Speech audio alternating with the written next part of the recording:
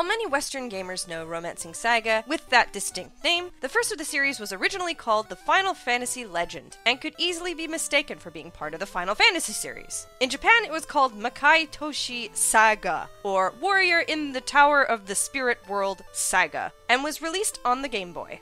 At the time, the Final Fantasy Legend was released alongside Final Fantasy II. Confusing, I know. While they are similar, what with a turn based battle, overworld roaming, towns, and so forth, Legend tried a few new things, adding multi worlds, an evolving class system, relying on loosely connected stories and side quests rather than a grand narrative. It had unique races that varied dramatically depending on what they ate, the ability to save anywhere at any time, and the series' eventual life point mechanic, in where a character can fall in battle a set number of times, and if they go beyond the number, they are gone forever. There were a great number of things that differentiated the two, and Legend won out on popularity, being the first Square game to sell over 1 million copies. This paved the way for sequels in the form of the Final Fantasy Legend 2 and 3. Legend 2 introduces a future staple in Saga games where you have a choice in who your main character is, selecting from eight different characters and assuming their journey. One cool thing was that a game over didn't happen when all the characters fell. Instead, you were revived by Odin, who told you to try again. But that feature is eventually lost as you progress through the game.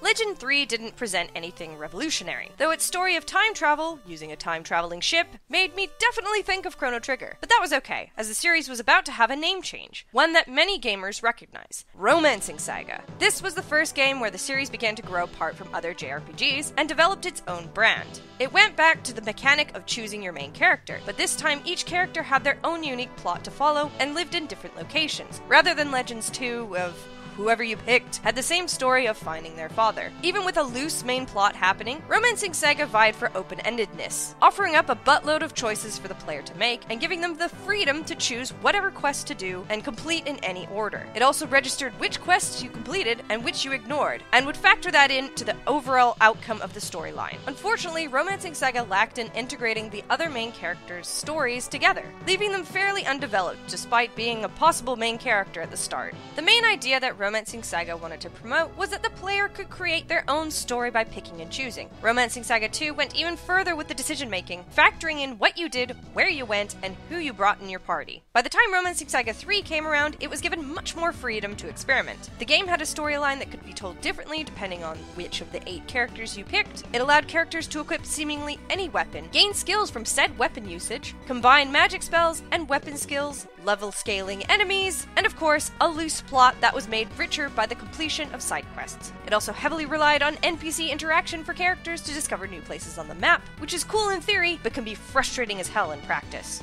So, what did this game inspire? What did it introduce to the world of gaming? Well, a lot actually. Romancing Saga was always testing out new things, taking the risk to create new game experiences for the player, even if that meant destroying their franchise with Unlimited Saga's battle system, where you rely on a slot machine wheel to perform attacks. One of the biggest inspirations would have to be Pokemon, as it took the success of Legend 1 into consideration for making the game on the Game Boy, thinking only action games would succeed on the handheld console. The game style was very similar in the Game Boy games of the Saga series. You progressed through dungeons, interacted with NPCs in towns, places were cut off and inaccessible for the time being, all the ingredients for Pokemon. Oh, and the battle system layout looks really similar. I mean, come on, look at that. Another game that benefited from Romancing Saga's bold game design advances was Rudra no Hihou, or Treasures of the Rudras. The story is divided into three major scenarios with their own main character. Different quests and tasks completed by one major story would affect the other, and the usual Saga freedom of completing the scenarios in any order. Certain aspects of Romancing Saga's experimenting definitely shaped some game series we know and love today. The level scaling system introduced in Saga 3, where monsters grow stronger according to your character's levels, is used in Final Fantasy VIII, Elder Scrolls games, Dragon Age, Fallout games. It's pretty neat how far one mechanic goes. In many of the games I just listed, they also follow what Romancing Saga 1 and 2 gave players, and that was decision making in the game that could influence the overall story. So if you hate impactful decisions in games, you have Saga to blame for that.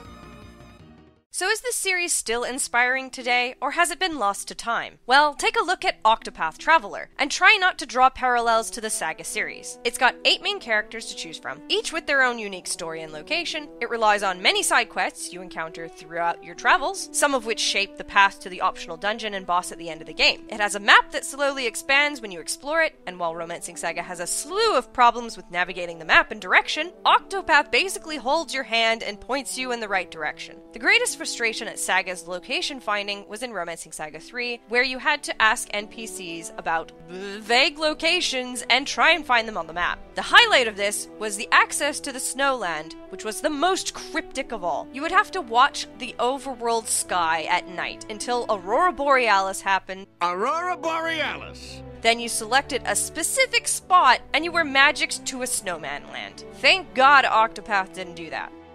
Two small details that make me think of Saga when playing Octopath was first, the fact that characters rush in from the side of the screen when battles start. Saga 3, they jumped in from the right, where Octopath, they kind of run. Still makes me happy seeing that. Second, Octopath shows you how you finished off bosses throughout your game and adds a montage during the credits. While Saga 3 shows off other unique techniques and skills during fights, it does record what your final attack was that ended the final boss. Little things like that make me extremely happy. I'm sure there are many more things that the Saga series has done, but those were the most obvious ones to me. I basically created this video because my experience through Octopath Traveler reminded me of my happy memories playing through Saga games, both in graphics graphics and gameplay. And of course, in music too, because I love video game music.